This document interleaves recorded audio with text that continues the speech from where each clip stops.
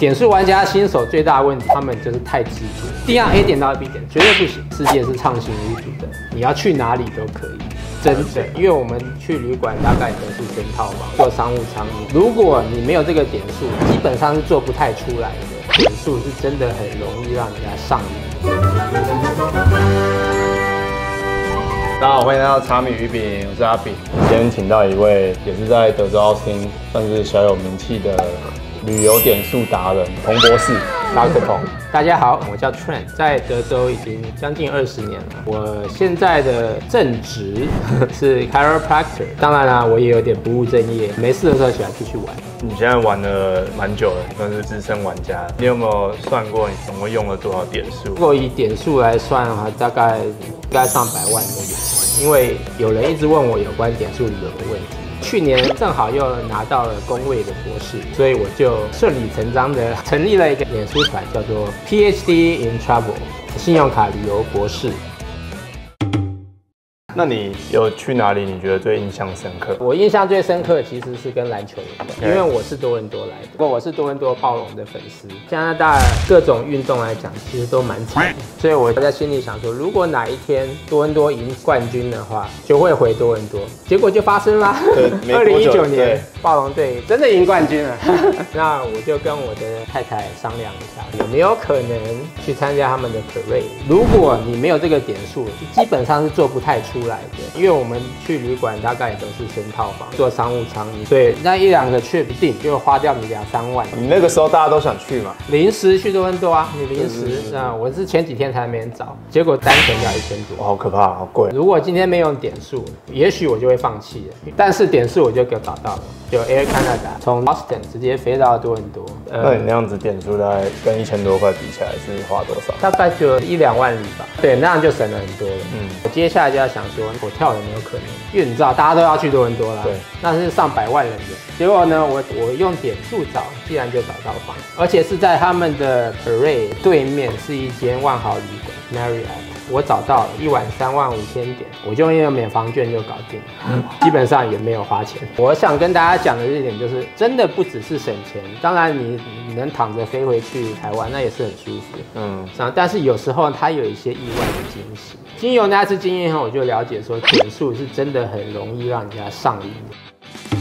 要玩点数，应该大家都知道要从信用卡开始嘛。假如我是完全菜鸟，你有什么建议要怎么开始研究信用卡？呃，信用卡其实我们主要玩在旅游方面的是比较多元，比较有多伙伴，我们叫灵活点数卡。我在我的部落格也是叫他们四大天王，这个四个公司是做的最完善的，呃，伙伴最多。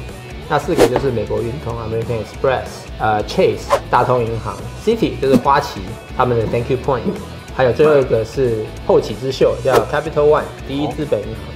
这四个银行的好处就是他们都有很多的合作伙伴。这四个公司他们都有自己的点数系统，可以转到任何一个合作伙伴的里程或者是旅馆点数。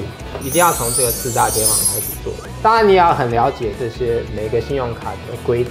比如说美国运通它的规则就是那个开卡你一生只能拿一次。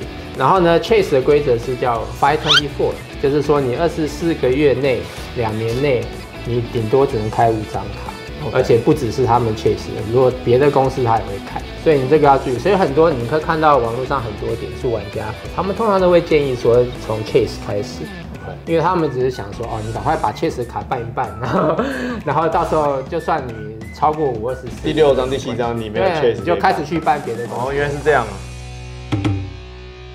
你大概现在身上有多少个信用卡？天哪，还是很多嘛？十几张吧。十几张。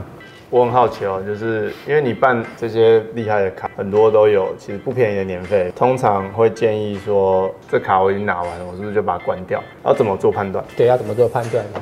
第一个就是你要判断说，你他的给你的福利，你到底会不会用到？如果有用到会回本的话，那就值得留。像我现在一直留着一张卡，是我觉得很新一代神卡，是 Capital One Venture X。它的好处是什么？它的年费是三百九十五，然后他还说你会有三百块的那个 Travel Credit。但是还不只是这样，你每一次续卡，它就会给你一万点，哦，一万点的 Capital One 点数。所以说，就算你拿说一比一，我拿里卡好了，那还是一百块啊，就等于免费了。哎，还你还倒赚五块钱，嗯是 所以说这种卡就是值得留。OK，其他卡如果你只是贪贪图它的开卡礼，我们通常都建议说你不能提早关卡。你想要关卡可以，你必须要等到它年费抽到你的 statement 以后，你再跟他签掉，你就打电话去跟说我要 cancel，问他有没有 retention offer。对，这些公司会说哦，我要留你这个恩客，所以他们会请你留卡。你花三千块，我们给你三万九。对，要不要？你要的话就继续留。所以你的意思是说，就算你想要 can，你也不妨问问看。没错，我们点数玩家几乎都是这样。你年费到了以后，你就打个电话去问一下，或者甚至 chat 也可以，就是说有没有 retention offer。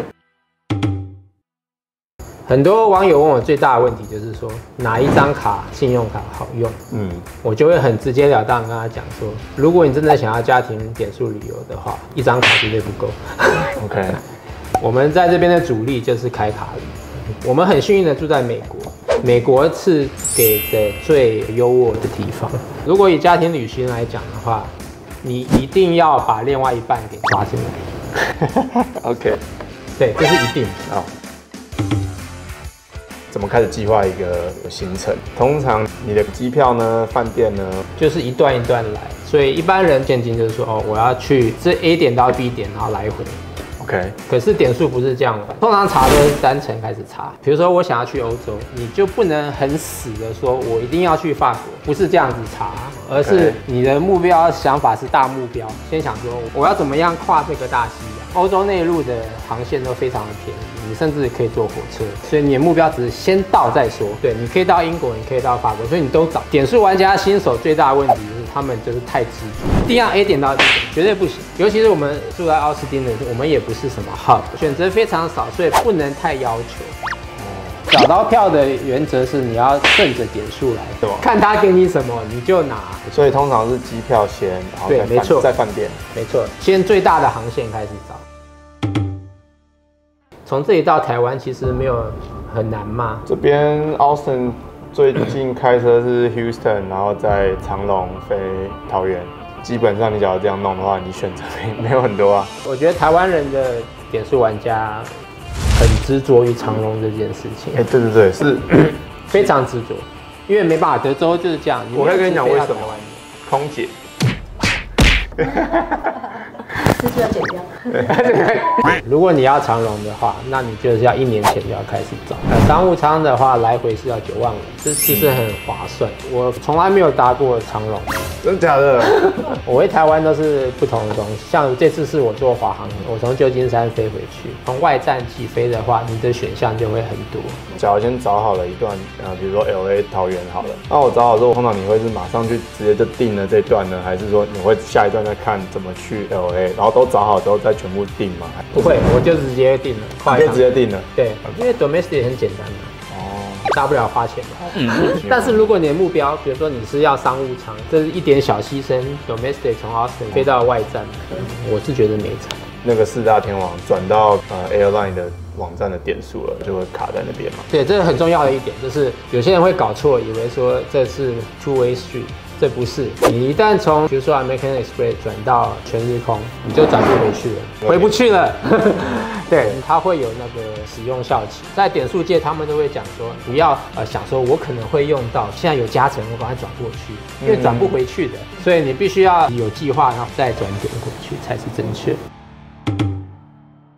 我接下来暑假的行程是我要做华航，这里也没有任何的一张信用卡会给你华航的点数，嗯而是华航的点数呢，你是要用联盟的概念。华航的它是属于天河联盟，所以我想跟大家讲的一点就是，如果你要玩点数的话，必须要了解所谓的联盟的概念，就是说现在全世界的航空有三大联盟，这三大联盟你大概都有十几二十家伙伴。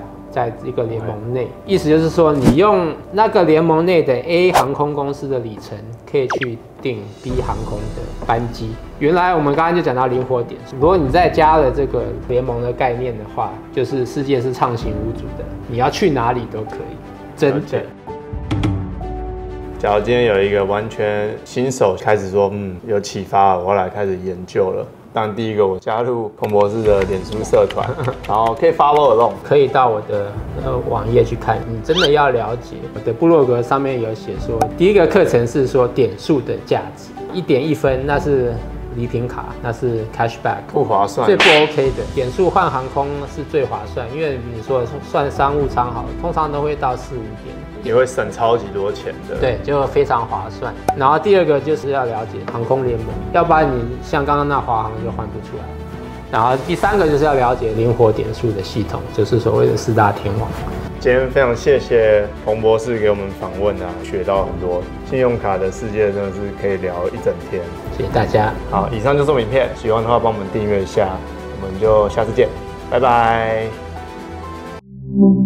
金宇航空据说有可能会有德州线，没错，达拉斯这个消息已经很令人振奋。更令人振奋的是，最近我们这边的阿拉斯加航空说宣布要跟新宇航空合作，意思就是说将来有可能可以用点数。